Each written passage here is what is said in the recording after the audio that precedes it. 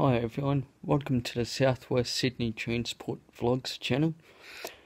I haven't uploaded in a couple of months due to the smoke from the bushfires and due, due to the Christmas and New Year's to allow myself to, to let myself think so.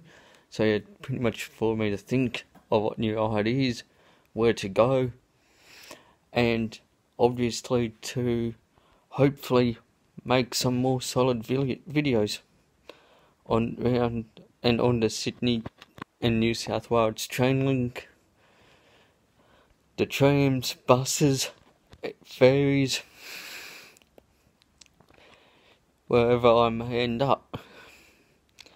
So, yeah, I hope everyone's New Year's was awesome. Christmas was awesome for them and their family.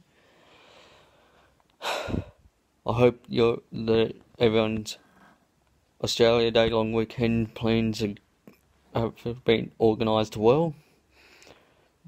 Because the smartest option will be never travel in the traffic. If you plan of travelling with traffic, make certain that it is at the correct time so you get back home to sort stuff out